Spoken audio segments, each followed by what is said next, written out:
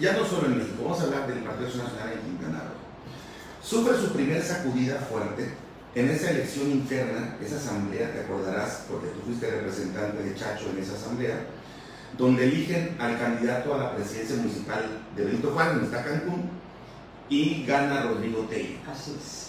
Pero Chacho se sale del PAN, Así se va es. como candidato del Verde, gana incluso la elección y, y se dice obviamente que se llevó muchos votos de, de panistas que, lo seguían. Así fue, efectivamente. Esa fue la primera sacudida que yo recuerdo del PAN. Sí, realmente Chacho tomó una decisión muy drástica. Él le apostó a todo, le costó posteriormente la libertad y todos lo sabemos, que en realidad él obtuvo muchísimos votos. Pero bueno, yo en aquella convención representé a través de un discurso como Claro. se hacía antes de que empezaran los famosos dedazos. eh, así se hacía, que era una competencia abierta.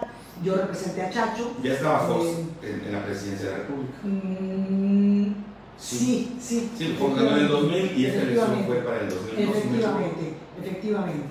Entonces, este, pues, pues perdemos nosotros con Chacho, Chacho se va y ya sabes el resto de la historia. Y gana la elección con el Partido Verde. Con un partido chiquitito, pues nos hizo añicos. La verdad es que con todo el cariño o el respeto que me pueda merecer el doctor Tello, porque creo que hizo su mejor esfuerzo, la verdad, políticamente hablando, no le llegaba en lo más mínimo a Juan Ignacio. Juan Ignacio ganó, esa fue la primera carta que les pude restregar a mis compañeros, porque ellos se empecinaron en aquel entonces. Jorge González Cano fue conocido, fue presidente del comité municipal, al que le llamamos el piedra porque era una piedra. Eh, él se negó, se negó, se negó y se cerró totalmente.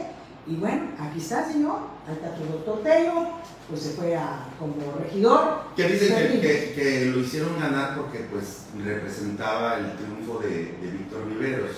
O sea, querían que, que el PAN no tuviera un candidato fuerte. Chacho ya venía con mucha fuerza y quería que... que- que- No, realmente te mentiría si te digo que-. Y Chacho había ganado por primera vez un distrito federal diputado, electoral. exacto, exacto, en Quintana Roo. Fue... O sea, si Chacho hubiera ganado la elección con el PAN, Esa noche de la elección... era el seguro Yo candidato. te puedo decir, claro, no, y lo fue, y de hecho muchas voces dicen que en realidad ganó y representaba una amenaza, como en su momento también lo representó Greg Sánchez, que, que ambos pues, se fueron al frescobote, ¿no?